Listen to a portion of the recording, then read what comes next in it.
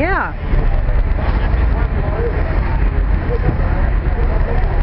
Wow. There goes Johnny Crawford. Oh my God.